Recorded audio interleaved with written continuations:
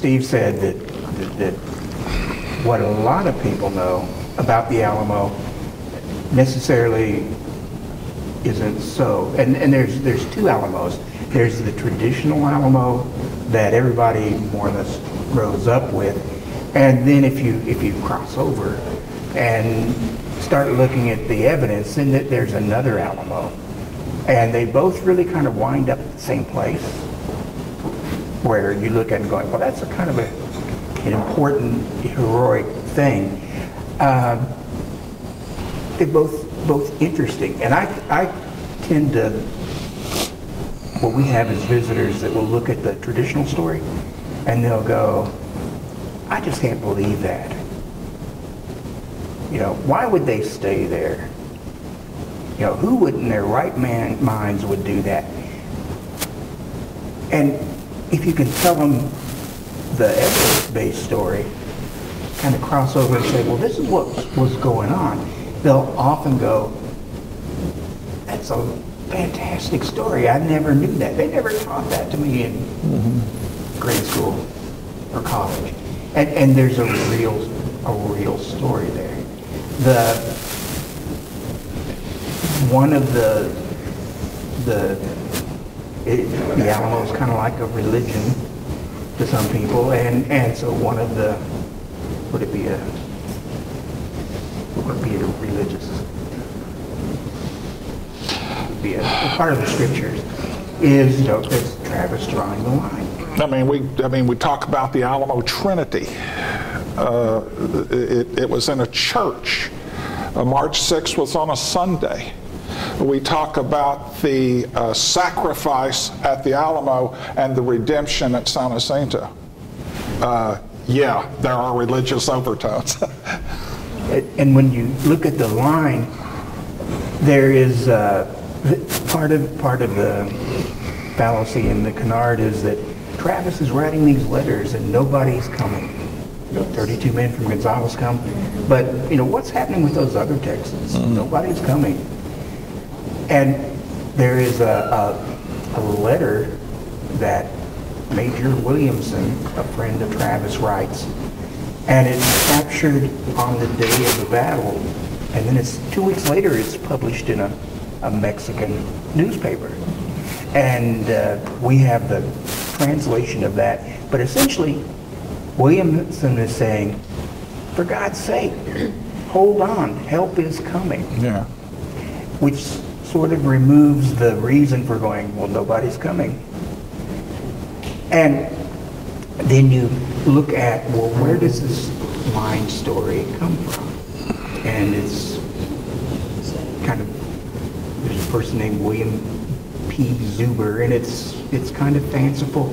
And he doesn't do himself any credit because he says, I heard this story from my mother who heard it from Moses Rose. I changed part of it, but he never says what he changed. And so it, it, it leaves some things that are questionable.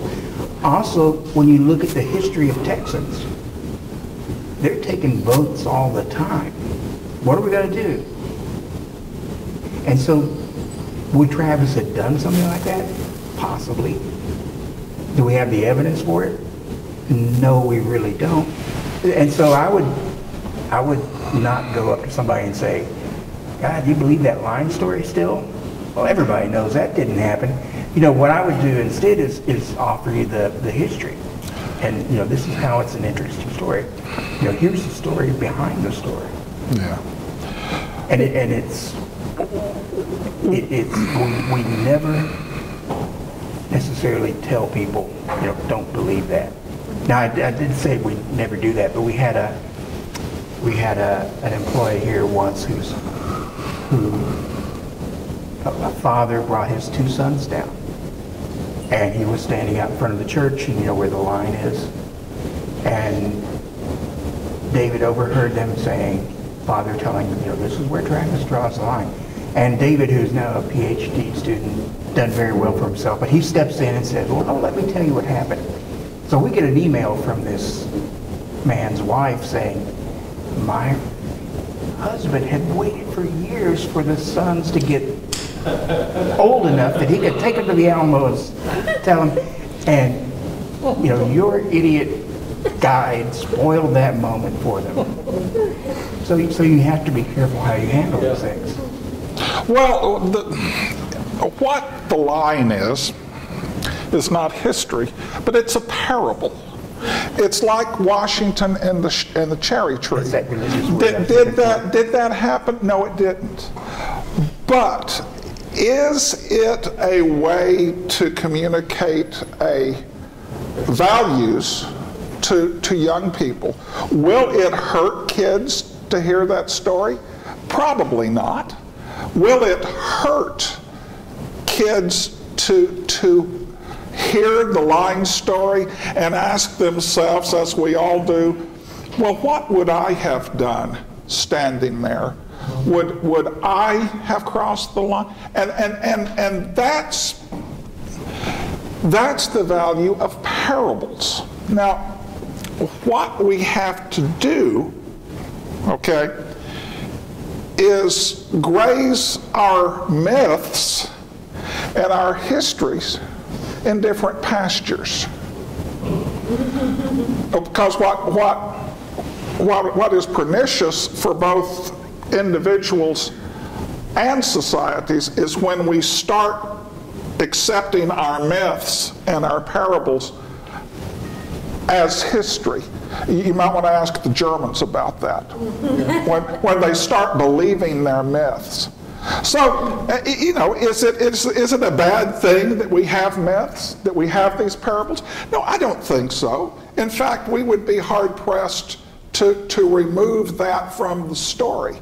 And I wouldn't want to remove that from the story because that's, that's part of the story. It's not part of the history. So we just need to make that distinction. And we can, we can live with both the, the mythic Alamo, we can have our line, as long as we understand this is part of the history, or it's part of the story, but it's not part of the history. And, and, and that's a, a, a, an emotional sort of canard that if you're, you know, did he or did he not? One of the things that we deal with, one of the things that we deal with often is um, from the John Wayne movie. People come here, and uh, the Alamo is an abandoned mission in the middle of nowhere. And if you believe that, it's not going to, you know, emotionally, that's not going to, you know, tear you up inside if someone says, you know, that's not true. But it will certainly clarify if you go, it never was abandoned. It was always put to another use. That would have been a surprise to the Losoya family, but. it never was abandoned, always put to another use. And it's always put to another use because Battle of the Alamo is not over the Alamo, it's over the town of San Antonio, which is across the river. And the town of San Antonio was an important place. So it's not worthless, it's not in the middle of nowhere. There's a lot of space to get to the Rio Grande or to get to the Louisiana border, but it's an important place. And because of that space, that's one of the reasons it's so important. Because of the population center, because of a garrison there, economic center, political center, crossroads.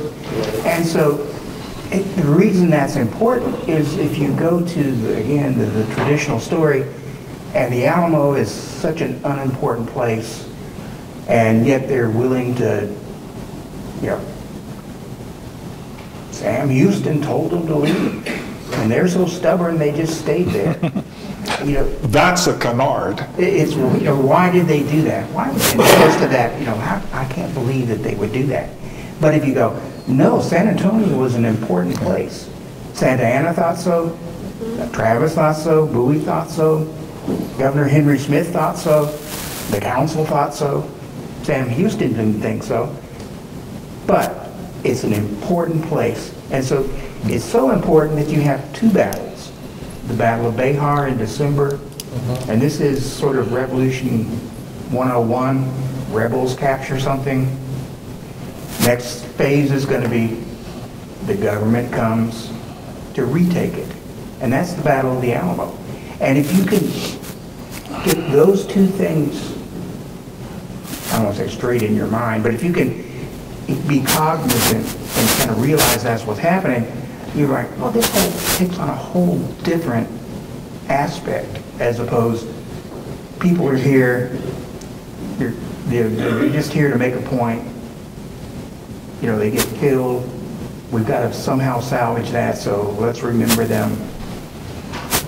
No, it's an important thing, and there are people on their way. They just don't get here in time. Well, well, let me expand on that, Bruce. How many of you have read uh, that Sam Houston ordered the Alamo blown up, the garrison, and, and if those people had just followed orders, they could have saved their lives? Have, have you? Okay, mo- most of us. That's a, well, that was something that was started by Houston biographers. Well, it was. And uh, the, the problem with biographers is they only read the letters that Sam Houston wrote. And on uh, uh January 17th, uh, 1836, he writes a letter to Governor Henry Smith, the, the, the head of the provisional government. Uh, he, he writes a, a letter from uh, Goliad. And he says, Look, I've sent Bowie over to, to, to the Alamo to abandon the place and, and, and pull out. And if you think well of it, we will do this. And the sooner this can be authorized, the better it will be. Well, clearly, Houston wants to abandon the Alamo, but just as clearly, he's asking permission from the civilian authority to do this. Well, Bowie arrives in the Alamo two days later. He meets J.C. Neill. He says, Hey, I love what you've done to the place. uh, he says, I think we could actually hold this. And so Bowie, on his own, and Neill write a letter to uh, uh, Governor Smith saying, Well, we'd rather die in these ditches than give it up. Well, that comports to what Governor Smith was thinking himself. He says, Look, we spent blood and treasure to, to get this place, and, and, and now we're just going to walk away from it? That doesn't seem like a good idea. Uh, and, and two, it blocks Camino Real. I mean, there are two main arteries coming up from the interior of Mexico, uh, you, and, and San Antonio blocks one and Goliad blocks the other. And you got forts at both places. So these are skeleton picket guards watching the frontier. And the plan is let's, let's halt the Mexicans on the frontier, uh, not let them penet- penetrate through uh, to, the, to the settlements. So Governor Smith thinks about uh, Houston's request, and the answer is no, Sam. Uh, we understand your reasons, but no, we've got to. Well, about this same time, uh, Governor Smith fires the council the council impeaches Governor Smith. And for a period of time, Texas is blessed with two competing governments. And Governor Smith and the council can't agree about much. But the one thing they can't agree on is we have got to hold San Antonio. Now, I'm going to read you something, and the reason I'm going to read it to you because it's a, it's a quotation and I want to get it right.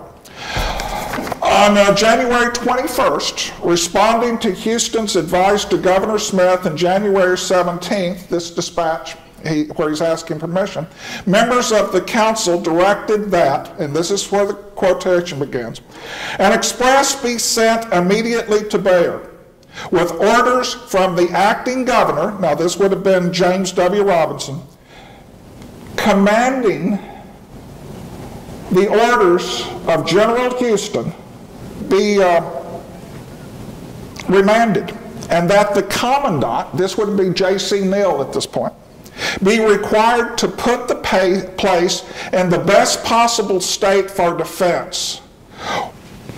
Now, listen carefully here. With assurances, every possible effort is making to strengthen, supply, and provision the garrison, and in no cause to abandon or surrender the place unless the last extremity. So that's the order J.C. Neill actually received from the civilian authority. And of course, those were the, after, after Neill left, these were the orders that, that, that, that Travis was acting under. So, to recap, yes, Houston wanted to abandon the Alamo. He asked permission, the answer was no, and instead, the, the, the government wrote down and says, no, for God's sakes, hold on to that place. So this explains a lot. Now, now fast forward to, to uh, uh, uh, February 24th, and the famous letter that we all used to have to memorize, but we don't anymore. So, uh, to, to, you know, Texans and all Americans in the world. And uh, what's he saying in that letter? He says, okay, guys, uh, they're here. uh, you know, this is what we've planned to do all along. We'd holler out when when they got here, and you would you would siphon down to these strategic choke points. Well, they're here, and uh, we can't hold them indefinitely, but we can we can hold them till you get down here. But but you you know hurry because you know we're we're surrounded by two thousand of these guys, and you know so uh, that makes Travis's letter of the twenty fourth make a lot more sense. And and indeed, uh, every letter and, and it's kind of uh, a shame that we focus so much on the letter of the 24th because there's valuable information in, in all the extant letters that Travis wrote from the Alamo. But in every single one, he's saying, uh, okay, guys, where are you? Because the government has promised them, we're not going to hang you out to dry. So it prompts the question why didn't the government respond? Because the government that should have and, and could have organized those relief or efforts had fallen apart in dissension and discord. And one of the things that kind of picked this Yeah. up is that, um, again, going back to nobody's coming. Well, when you begin to look at letters written not in San Antonio, but written a bit further back, people aren't coming. Yeah. But, you know, they don't have the ability to send text to Travis, you know, hey, we're coming. You know, the email, you know, the internet was down and, and, and, and just getting. from- Well, it was government internet. Getting from place to place took time. And so the Battle of the Alamo is really, you know, the siege is, what, two weeks? It takes about a week for the word to get out, and then it takes about a week for the response. And what then happens is on, when, when Houston does show up at Gonzales on March 11th, he finds 350 men under James C. Neill ready to march off to the aid of the Alamo. yeah. And so if you're kind of doing the math and you're like, well, that's the 11th, Alamo fell on the 6th. Now, this is what's important. You know, one of those canards is that Sam Houston has been graced with time purchased by the Alamo Thank you, John Wayne. his army. And no, he has been treating with the Cherokees, he's been at the convention, he, he hasn't been building an army. When he gets there on Gonzales, March 11th, that's his army. The relief group that has assembled for the aid of the Alamo. And that's where he then begins retreating eastward and adding to. And those Alamo relief forces under J.C. Neill uh, proved to be the nucleus of, of the San Jacinto army. But, but here's a delicious irony. Sam Houston uh, tells the people at, at uh, Washington on the Brazos, if any mortal power will prevail, I will save those brave men at the Alamo. He leaves Washington on the evening of March 6.